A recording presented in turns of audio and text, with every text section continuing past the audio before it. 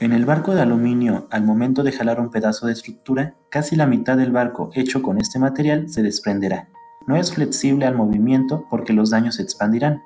No es ligero, ante un choque el material seguirá siendo pan tostado, pero las áreas cercanas también se verán afectadas.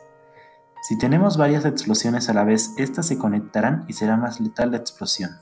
Ante ondas de choque no se verá afectado y por último no es incendiable.